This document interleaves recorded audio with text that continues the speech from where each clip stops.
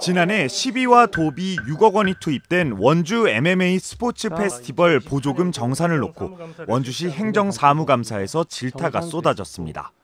정산 내역만 보면 보조금이 제대로 쓰인 게 맞는지 의심 가는 정황이 한둘이 아니라는 겁니다. 작년 대회에 심판으로 참여한 사람은 10월 29일에 두 차례 심판을 본 것으로 돼 있고 비용도 두 차례 지급됐습니다. 하지만 그 중 하나인 아마추어 대회는 실제로 열리지 않았다는 겁니다. 같은 날에 다른 걸로써 이중 지급이 됐는데 보시면 또 로드FC 심판이에요. 10월 29일 날은 아마추어 대회가 열리지도 않았는데 참가 선수들의 숙박비 증빙 내용도 엉성하긴 마찬가지입니다. 해외 선수들의 입국일은 21일인데 숙박비는 19일부터 결제된 정황도 있습니다. 이 항공권을 보면은 대부분 외국 선수들이 6월 21일에 입국을 합니다.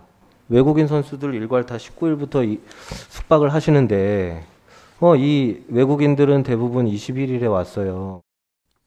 대회 관계자 A 씨는 같은 날 여러 숙소에서 잠을 잔 것으로 나옵니다. 증빙 사진에서 보이는 라운드 걸은 3명. 정산 서류에는 라운드 걸 4명에게 출연료가 지급됐는데 사진에 없는 한 명은 확인 결과 남성이었습니다.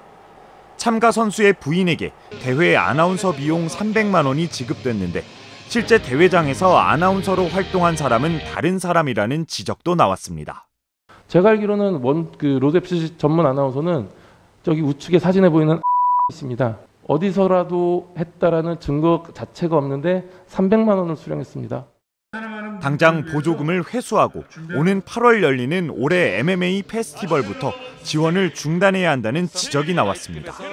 철저한 감사와 그리고 더 나아가 큰 문제점이 발견된다 하면은 수사 의뢰까지 원주시에서는 진행을 해야 될 것이며 더 이상의 지급은 하지 말아야 된다라고 생각합니다. 원주시는 추가 자료를 로드 FC에 요청했다며 문제가 확인되면 환수도 할 수 있다면서도 지원 중단은 고려하지 않고 있다고 밝혔습니다. 이 부분과 그거는 이미 예산이 편성돼 있기 때문에 그거는 좀 일종의 별개라고 생각하고 있습니다. MMA 페스티벌에 지난해 도비를 포함해 예산 6억 원을 지원한 원주시는 매년 도비 포함 7억 원씩을 앞으로 5년 동안 지원할 예정입니다. MBC 뉴스 황구선입니다.